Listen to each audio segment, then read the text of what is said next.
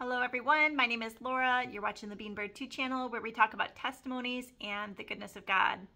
This morning when my husband woke up, he saw a rainbow in the sunrise and I'll post a picture. It's very beautiful. Unfortunately, the photo just never seems to do it justice. Uh, the pink was brighter than what shows up in the photo, but it's still stunning and it was a wonderful thing to wake up to. Yesterday, I had the privilege of sharing the testimony of my daughter Ballet, and I had some extra thoughts that I wanted to add on that. Um, first, I want to say that she gave her testimony of her own will. I asked her if it's something that she would like to do because she's a huge encourager of this channel. She's always asking me like, Mom, did you do your video yet? And she's always encouraging me if I feel um, down in any way. She's like, You can do it, mom. You're making a difference. You know, she's just such a delight. And I asked her if she would like to do her testimony. And, you know, her first response was, I don't really have a testimony. And I said, Are you kidding me? You have the most amazing testimony of anybody I know. And she was like, Really? Like, in what way? And I was, I started showing her, um, you know, the things that happened and we recalled them and we spent time talking about them. And she said, You know what? I guess I do have a testimony. In fact, I have a really good one. And I thought I would draw that out because I think a lot of times um, it's not uncommon for people to say that they don't really feel like they have a good testimony. Um, but you do have a good testimony because you were dead and now you're alive in Christ. And that story needs to be told. And it is very exciting to people around you that aren't familiar with it. And um, the other thing is, I was hesitant to post the video yesterday, and I told her, I said, gosh, I feel really bad because in the beginning I talk about, you know, the way that you were, and I feel bad saying negative things about you. And she said, you know what, mom, it's okay because that's the way I was, but that's not who I am now. And I thought, wow, that's really powerful. And then she went on to say that she was okay with people realizing who she was. She said, because I want people's lives to be changed. And if sharing my story can make a difference, I want people to know my story. And I thought that was incredibly powerful. And um, I'm just, again, impressed with her spiritual maturity and a lot of times in testimonies, um, like David's testimony, even my testimony, they're testimonies that take place gradually over time. And I think the reason why that's the case is because we surrendered a little bit at a time. Um, we gradually trusted the Lord with things. We gradually grew our faith and we, we gradually made that transition. And the more we gave to Jesus, the more our lives was changed. But with Ballet's testimony, what makes it so special is, and that sharp contrast, is that she went from like 0% committed to 100% committed. And she really went all in 100%. And I really feel touched when I even see her baptism video because when you see her fall back into the water, she doesn't even bend her knees. She goes down straight down like a board and comes up straight down, straight up. And she, it's very graceful looking and I thought, wow, she was completely trusting in the man that was holding her up to, you know, bring her down and bring her up. She it was like a complete image of a trust fall, and um, she truly went from zero percent committed to 100% committed, and she was all in. And the other thing that was kind of interesting about her life change was I mentioned yesterday that it started with God giving me a dream um, to teach her how to pray. And that led to a dramatic salvation. And she has really shown that the Lord's favor is on her life in a very special and unique way.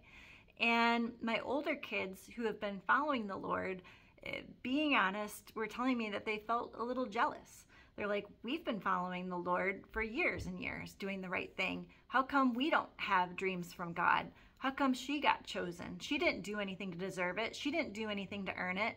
She was just this mean little person. And then God like poured out all his favor on her and she didn't do anything. And the answer is bingo. You hit the nail on the head. She didn't do anything. She didn't earn it. She didn't deserve it but the Lord's love was poured out on her so richly. And I think that's why a lot of times God picks people who are unlikely candidates to show the size and magnitude of his grace. Um, when we see somebody do such a 180, it's like, wow, God's grace is so big, you know? And I had to remind my kids of the story of the brother of the prodigal son. A lot of times the emphasis is put on the prodigal son who drifted away from the Lord and how the father in that story welcomed him back by killing the fatted calf and um, pouring out you know all these blessings. But the son that had stayed, the son that was loyal, felt like he was getting kind of ripped off because he's like, I've been tending your fields and you didn't, you know, kill the fatted calf for me. And so I just want to read that verse here. It's, um, this is found in Luke 15, 25. Now his older son was in the field, and when he came and approached the house, he heard music and dancing. And when he summoned one of the servants and began inquiring what these things could be, he said to him, Your brother has come, and your father has killed the fatted calf, because he has received him back safe and sound. But he became angry and was not willing to go in. And his father came out and began pleading with him. But he answered and said to his father, Look, for many years I've been serving you and have never neglected a command of yours, and yet you have given me never given me a young goat so that I might celebrate with my friends. But when this son of yours, who has devoured your wealth with prostitutes, you killed the fatted calf for him. And he said to him, Son, you have always been with me, and all that is mine is yours.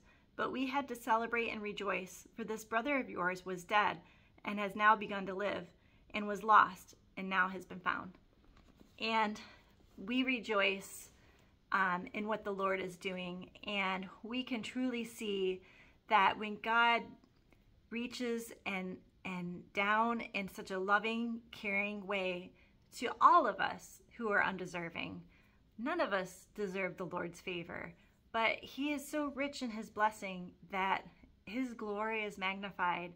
And I think that's why a lot of times, you know, he picks Saul, who became Paul, uh, Moses, who had murdered, um, and, and all the people that uh, were in the Bible that had huge flaws. Um, you know, Rahab the prostitute. And the Lord showed his grace and mercy in these people. And it's a, a blessing to see God's favor poured out so richly.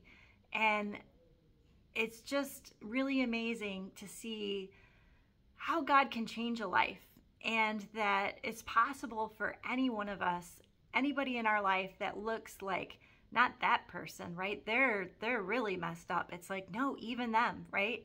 Uh, even the person that you've maybe kind of given up on, or um, you know, we've seen the testimonies of people who, there was this guy, he was um, a satanic cult temple leader in Africa, and he completely gave his life to Jesus. And you think, like, wow, I didn't see that coming. But when those stories come out, it's just awe inspiring. And it reminds us that no one is too far from the reach of Jesus. And I think also it's a testimony of giving 100% to Jesus because you really do see a difference when you see somebody say, I'm all in, I'm surrendering everything, and just joyous abandon, like I'm letting it all go, I'm just gonna free fall, trust into Jesus. And you see the way that the Lord, you know, envelops, you know, that attitude, and it's just like, wow, um, we truly can free fall into the Lord's arms. We can trust Him and no one is too far from the Lord's reach. If you have breath in your lungs, there is time for you, there is love for you, and we need to maximize that time and receive that love, right? Like um, David's video, he said, Grace is hard work. And of course, that's like a joke because it's not hard work, right? It's free and we don't have to do anything to earn it. But the hard work in his mind is getting to that point of surrender, right? That's hard to do sometimes, especially when we like to hold on to control. We want to have that control and releasing that control and trusting in um, God to take care of us. And it's harder when we've had experiences with people, humanity in the world where we've been let down in the past And when we have those hurts of being let down by people or, you know, different, the job or a world situation, it's like, oh, I've been burned. It makes it harder to trust. But God is bigger than the world and our past relationships and people that have let us down in the past because God won't let us down and He will hold us up. And we can 100% just say, Lord, I give you everything. I trust in you. So that's it. Thanks.